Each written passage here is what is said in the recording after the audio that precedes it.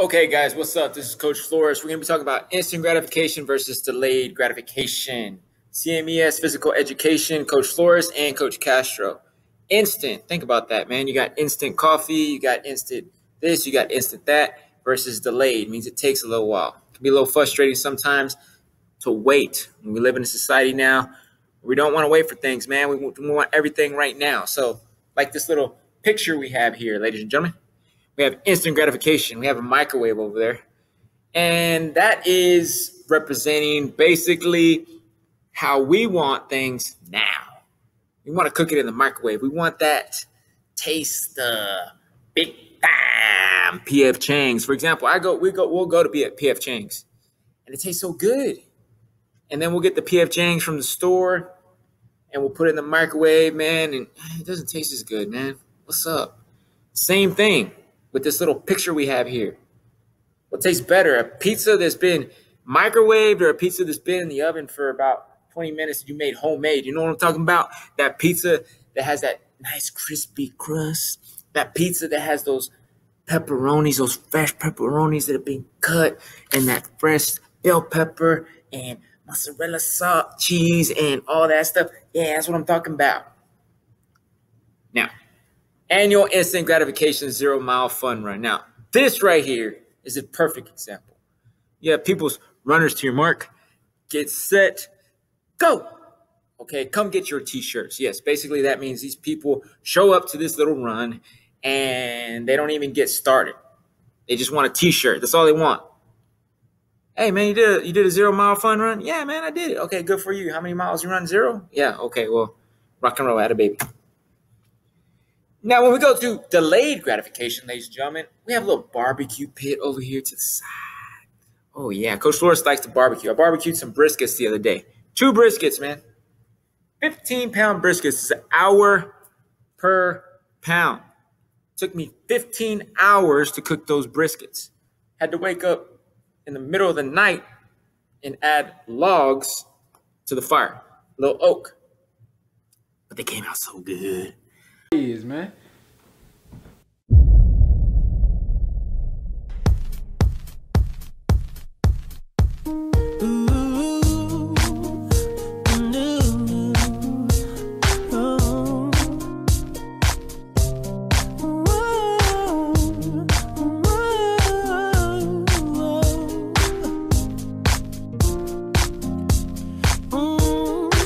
That good?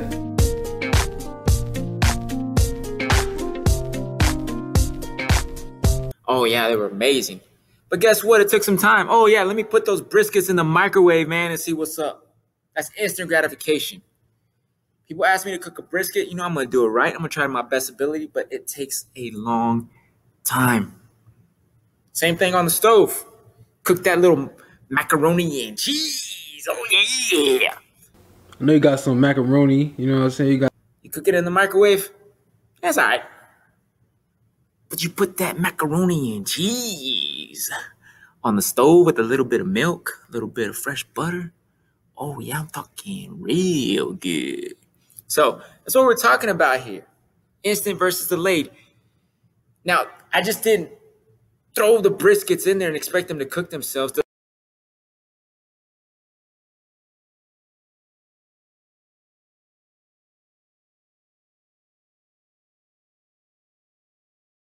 Delayed gratification doesn't mean you just sit around and expect things to happen. Same thing with the macaroni. This lady over here stirring it, as you can see. This is the things that we want because delayed gratification, that could be bad too, where people think, well, I'm just going to wait around and things will happen for me. Uh, sorry, bro. That's not the way that it works. You have to put in the work if you are going to get that delayed gratification that you want. Easy come, easy go. If you want it to last, man, you got to work at it.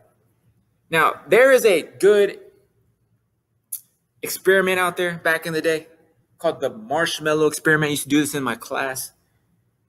And this will explain it. But basically, it says you give a child a marshmallow and tell them they can either eat it now.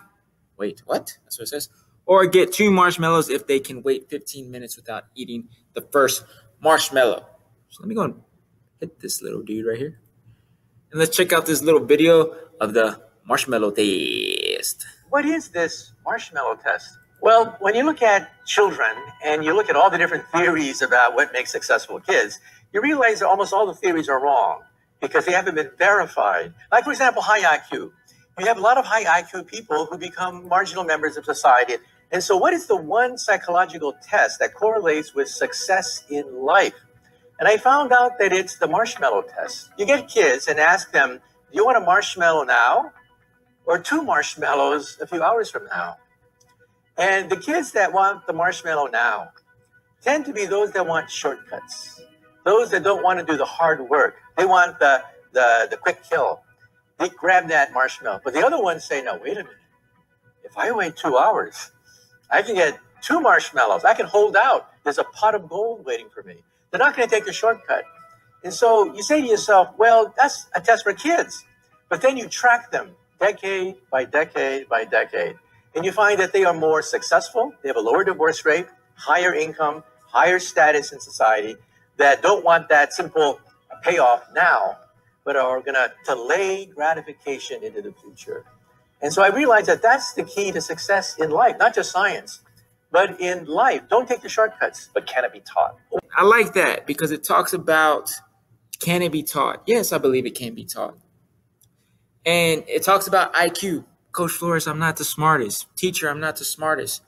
Yes, I don't believe you have to be. I wasn't the best student in school, but I, I learned how to work hard. And if I wanted something, how to earn it. And it tastes it tasted so good. It feels so good when you earn it. And I'm telling you this is because sometimes people they might be so smart that things become easy to them and they take it for granted. Beat the freeze. They give the uh, contestant a head start, and then watch this guy in the freeze suit. This is the greatest thing I've ever seen. Watch this, folks. I mean, the guy had what a 200 foot head start. At least. Look at this guy go. This guy is beautiful. Look at this guy. The guy, Yeah, the guy thought, he thought he was going to win. Exactly. Oh, that's where he belongs, right in the dirt. And people that actually work for it, once they get it and they achieve it, they feel good and they want to keep working and getting more. Now, it doesn't mean you're going to get what you want all the time, but why not give it your best shot and just try to work for what you really want? All right, now when we talk about instant gratification, how I used to be, put a little couple videos on here. Um, waking up. Well, if you want to wake up early, I wake up at 4:15 every day. Guess what? That means I have to go to bed early. I'm in bed by 9 or 9:30 every night. Okay, and I wake up. Do I always want to wake up at 4:15? No. No, mm-mm, no.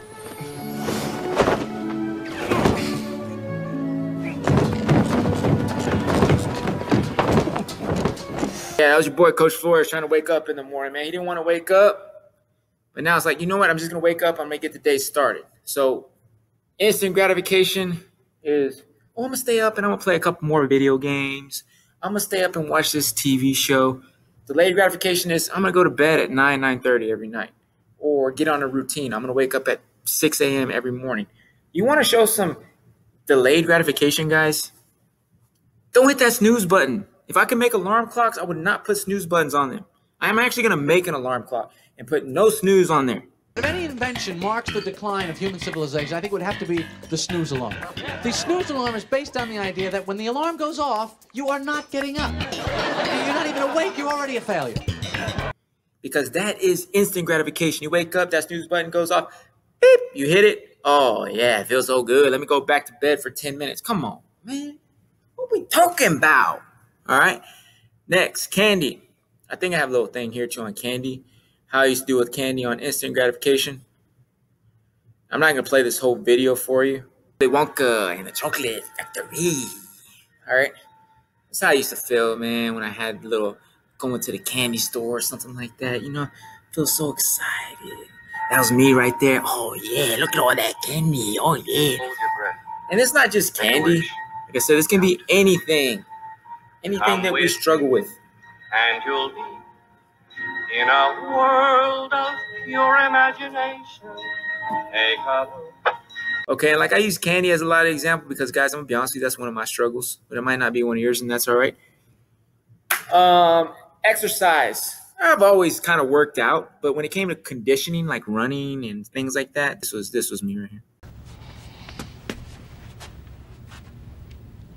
No! No! No! These are just excuses. I used to make a lot of excuses, ladies and gentlemen, a lot. Okay, and now I just try not to make them. And if I do make them, I apologize. So let's talk a little bit about excuses. This is a great author. His name is Jocko Willink. He was an ex. He's an ex-retired Navy SEAL, and he actually writes children's books. I bought this book. Me and my wife bought this book for our daughter. They're pretty good. You should check them out. He also has adult books that talk about like, you know, discipline is freedom and things like that. And this is his whole take on excuses. Jocko, I am a chronic excuse maker. How do I stop making excuses and get things done? the chronic excuse maker. How do you stop making excuses?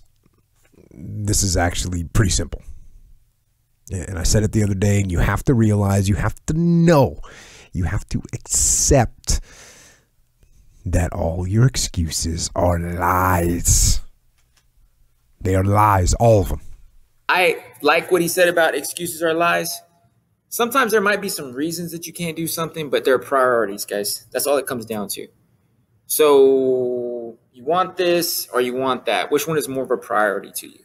And you can't you can have multiple priorities, but you have to have them top and bottom. So your priority is having like just instant gratification all the time, man, and not really have consequences, then I guess yes, great.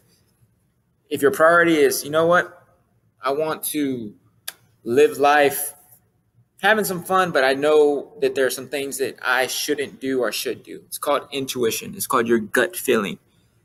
I believe that. Your gut will tell you, yes, this is something I should be doing or this is something I shouldn't be doing. Listen, what's up?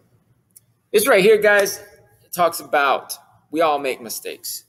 And this is what I'm talking about. Yes, there are excuses and all this stuff, but th- I'm a Batman fan. I love Batman. And the reason that I love Batman is not so much because of him, it's because of his villains that he faces. These are all the villains in Batman. These, I mean, it's not probably not even all of them, but you can see all of them in there. And when it comes down to this, Batman is a human being. He's not like the other superheroes, man. All these superpowers. Batman's just a cool dude who goes around, man, knows some karate, knows all this stuff, and rock and roll. And the thing about Batman that I like is this little clip right here. From I wanted to save Gotham. I failed. Why do we force? So that we can learn to pick ourselves up. Still haven't given up on me. Never. In life, you are going to fail. You are going to make some mistakes, guys, but learn from them. Our boy Batman has failed several times, but he never gives up and keeps coming back. He learns from his mistakes, stays ready so he don't have to get ready. He does need to take a chill pill sometimes and enjoy life a little more. However, his main priority is justice, so I guess he can't chill. And when you do make mistakes, there's a simple thing that I'm going to show you in a video here next time. And it's basically talking about kind of what's up for me. So we'll show you a video next time of me doing some horrible acting um, about these runs. All right, guys. Thank you. And a baby. Wrecking